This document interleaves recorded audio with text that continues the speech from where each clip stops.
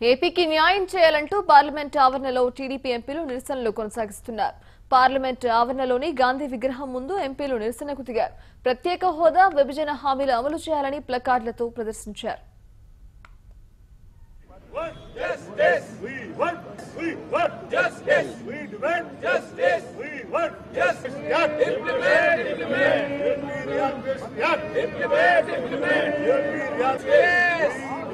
Yes,